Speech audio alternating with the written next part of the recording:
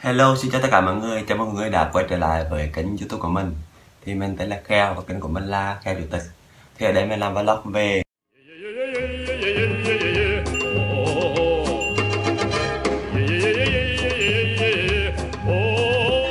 Thì như các bạn có thể biết hoặc có thể không thì mình có làm một cuộc khảo sát ở trên messenger ở facebook đàm quang của mình á. Mình khảo sát với việc là mình sẽ nên làm vlog gì tiếp theo? Giữa top những đôi giày cho học sinh và việc vệ sinh giày vì đấy là những chủ đề mà mọi người yêu cầu mình làm rất là nhiều thì mọi người có vẻ thích làm về việc vệ sinh da nhiều hơn nên mình quyết định đó, sẽ làm cả hai chủ đề nhưng mà chủ đề về top những đôi giày dành cho học sinh thì mình sẽ để ở video sau chứ mình sẽ làm về video về à, vệ sinh giày trước Hôm nay mình sẽ làm cho các bạn một cái video hướng dẫn các bạn cách vệ sinh giày đúng cách theo kinh nghiệm bản thân của mình. Thì trước khi vào video thì mình muốn nói là cái video của mình mang chất tham khảo nhiều hơn. Nếu các bạn có cách nào vệ sinh giày mà tốt và điện tài vẫn còn tác dụng thì các bạn cứ sử dụng. Còn nếu các bạn vẫn chưa biết cách nào thì các bạn có thể xem cái video của mình. Và sau đó thì có thể tiếp thu thêm để tìm ra cho mình cách vệ sinh giày tốt nhất. Kính thưa bà con hai họ kính thưa hai cái lò lục bình. Hiện tại thì mình thấy văn hóa sneaker và những cái đôi sneaker nó rất là phổ biến đối với giới trẻ hiện tại rồi.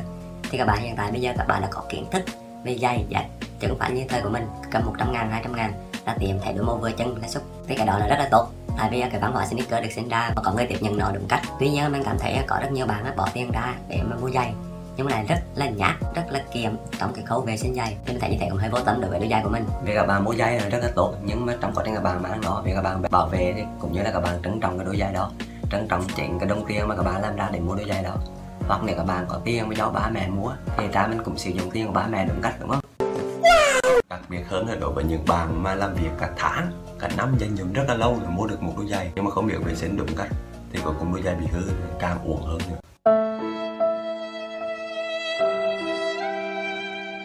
Thôi khẩu năng là đủ rồi đi vào nội dung chính. Thì đây mình sẽ chia ra hai phần. Phần đầu tiên mình sẽ nói về việc bảo quản giày. Phần thứ hai mình sẽ nói về việc vệ sinh giày như thế nào. Đầu tiên nói về bảo quản giày này là phòng bệnh. Hiện tại mình thấy á ở cái môi trường sống hiện tại bụi bẩn rất là nhiều bụi bụi từ châu Á bụi lan sang châu Âu bụi lâu lâu bé qua châu Mỹ. Bụi nhiều như số khỉ ở châu Phi mà bụi li ti li ti ti nằm rải rác châu Úc, ở trong cái chậu mốt cũng có bụi hết rồi. Thế các bạn cần phải bảo quản đôi giày của mình trước hết là để tránh bụi các bạn nên sử dụng hộp giày để cất giày vào hộp. Không biết các bạn muốn phết hay riêu, cố gắng có càng nhiều hộp càng tốt. Thứ nhất là để trưng, nhìn hẳn đẹp chứ bốn thứ hai là để bảo vệ đôi giày của mình, hết sạch nếu các bạn mà không dùng thì có thể bỏ đôi dây vào hộp. Vậy là các bạn nên dùng giấy gói ở trong đôi dây để tránh dây chạm vào nhau, gây những cái việc nhợt đáng tiếc. Hoặc các bạn có điều kiện thì nên mua tủ dây để cho đẹp, hoặc đánh bụi hoàn toàn luôn. Nếu các bạn không có điều kiện để mua một tủ dây bằng gỗ mắc tiền, các bạn có thể mua cái tủ như mình đấy 80 ngàn mấy thì hẳn có cái giấy kéo như vậy. Kéo xuống này. Đấy sạch sẽ, đúng không nè 80 ngàn thứ hai là các bạn nên để đôi giày riêng một cấp khi mà mang về, vì khi mang chân cử mình sẽ đá mồ hôi, đặc biệt là vào hè, nên các bạn nên để riêng cho nó thoáng một chút. Để tưởng tượng đôi giày mới đi về, nên bỏ vô tủ liền, các bạn ngửi thế. Thứ ba chai mình nghĩ là các bạn nên đầu tư mua một trái xịt khử mùi giày, như thế này. Và trái này mình mua ở Bixi 15 ngàn thôi, nhưng mà xịt cũng rất là lâu, mình xịt cùng 3 tháng rồi đó, mà cũng chưa được một nửa nữa thì nó sẽ giúp cái đôi giày nó có mùi thơm, nó khử được cái mùi hôi của đôi giày đi. Nhưng mà các bạn nên nhớ, khi các bạn mới đi đôi giày về liền thì không được xịt tại vì đằng nào. Vì lúc đó cái chân của bạn đã phát ra cái mùi rồi, thì cả cái mùi này vào nữa nó sẽ rất là hắc. Tương tự như các bạn đi đá bánh về nhẹ nhài mồ hôi, xong cầm nguyên một chai nước hoa xịt vào người vậy. Lúc đó cảm giác răng các bạn biết rồi, đúng không? Tiếp theo là các bạn nên đầu tư vào những cặp sushi thì nhiều người nói mang sushi như thế này á, khi bỏ sushi vào đôi giày á, thì nó sẽ bị giãn giày, bị giãn keo. Thế mình nghĩ sushi hàng nhẹ mà cũng nên nổi phải giảm đó. Sau khi các bạn đi về việc các bạn bỏ cái sushi vào trong đôi giày nó sẽ giúp cái đôi giày nó căng hơn, giữ được cái form đôi giày. Và cũng như là có thêm một chút cái lỗ hở ở đây, không khí nó vào nó sẽ thoáng hơn, nó đỡ mùi hơn, đỡ ẩm mốc. Mình có thể mình dùng sushi là mấy tháng rồi mà rất là bình thường. Thì sushi này hiện tại đang bán trên shopee, mình mua hay mua ở shopee. Bán một cặp 27 ngàn cũng rẻ mà. Ai không có điều kiện thì mua một cặp. Ai có điều kiện nhiều thì mua ba bốn cặp. Bạn bè thì gộp chung với nhau, ship lần cho đỡ tiền. Rẻ mà trường hợp mà các bạn chưa có điều kiện để mua sushi hay là không muốn mua thì các bạn có thể dùng cái giấy thủ công các bạn vo lại, các bạn nhét vào trong đôi giày. Nhưng mà nhớ không được dùng giấy bảo nha, vì giấy bảo nó sẽ lem mực ra, đen xi đôi giày luôn. Như mình sẽ nói về việc vệ sinh giày này. Thì vệ sinh giày á, thì ai phải dùng rồi đúng không nào? Không thể là các bạn ra đường đôi giày các bạn đã cứ chọn về rửa được.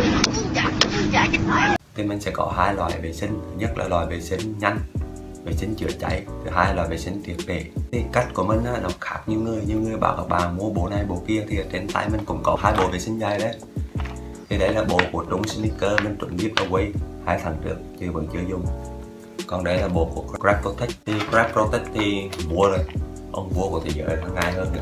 Thì ở trong này nó bao gồm một cái băng chải, một cái bịch dung dịch, cũng như là một cái khăn thì cái này thì nó hơi mắc một xí tại vì hẳn nhãn hiệu toàn cầu mà. Giá của nó thì giá, nó giá của toàn cầu đó là giá phổ biến, cũng mấy trăm đồng còn bộ này trong sneaker bán hai trăm tám phải được được. Vô tình mình comment số hay sinh của mấy người yêu và vô tình trúng. Hết. Ngoài ra để vệ sinh da các bạn cũng có thể chuẩn bị cái MPS cho những đôi da màu trắng. Mình sẽ nói về cái việc đầu tiên là việc chữa cháy trước khi vệ sinh các bạn phải xác định trước là các bạn sẽ vệ sinh đôi da đó chất liệu như thế nào thì ở đây có một số chất liệu phổ biến như sau. Đầu tiên là canvas. Canvas là vải. Thường thường có trong những đôi converse như vậy này. Converse như vậy là vải canvas này. Mà này là dễ bị cũng nhất. Hai là sweat hai còn được gọi là da lộn à, da lộn thường trong những đôi chanh boot hay những đôi bán old school nó cũng có một ít da lụa á. Da lụa ở đây này. Thì đây chất liệu rất là khó vệ sinh. Ba là chất liệu knit knit là chất liệu lan đen á. Lan đen á. Wow. Thường có dùng trong những đôi ultra boost hay là những đôi nái. Đôi nái thì mình hãy dùng knit rất là nhiều. Và knit là vải len đám như vậy. Bao gồm cũng là chất liệu vải da. Vải da thường thường có trong những đôi Adidas Superstar này đôi Nike Air Force này là những đôi mà các bạn mang rất là nhiều. Trước tiên mình sẽ đi đến về chất liệu vải da trước. Khi các bạn muốn vệ sinh nhánh á về chất liệu vải da này rất là đơn giản. Các bạn chỉ cần để một tờ giấy ướt ở trong cái bịch khăn ướt này chị ngang với xí đấy. Giống cái đôi này sáng nay mình mới đi học về đi pc mua cái, cái này luôn. Thì nó cũng có một số vết bẩn. Rất là đơn giản thôi các bạn sẽ lấy cái căn ước này bằng bạn cha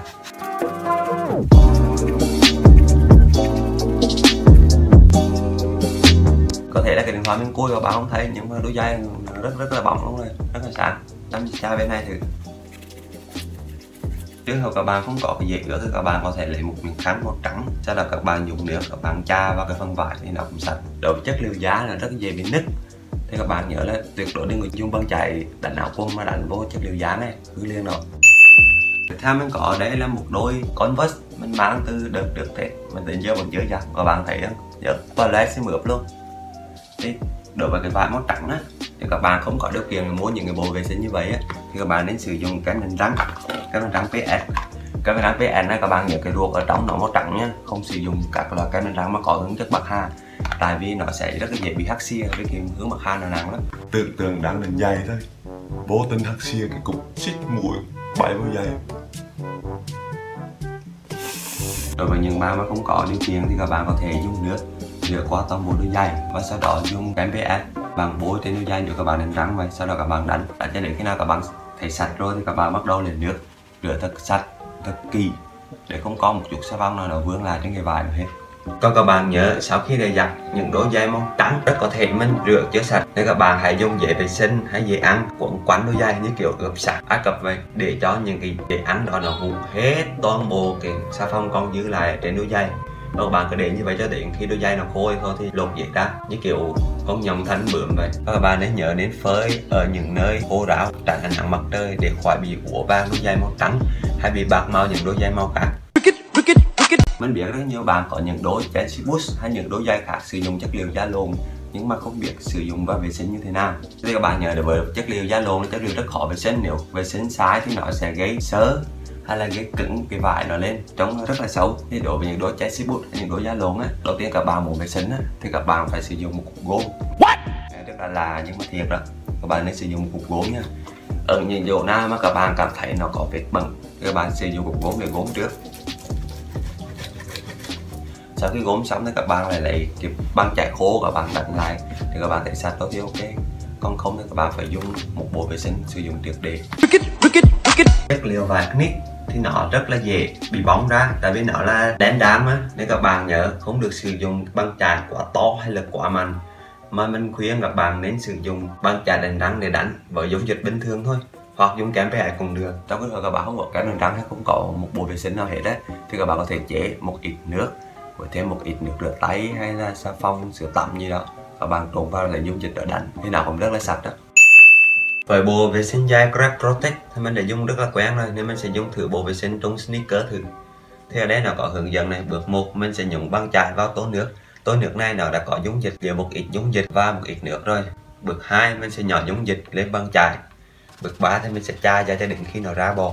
Bước 4 thì dùng khăn lau sạch, làm lại từ đầu.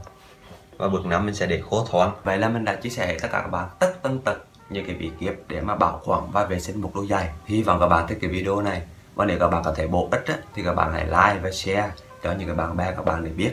Ít ra thì cũng biết kênh của mình nữa đúng không? Thì cảm ơn các bạn đã quan tâm theo dõi. Qua xong nhớ đăng ký kênh nghe chưa Không đăng ký đập chụp.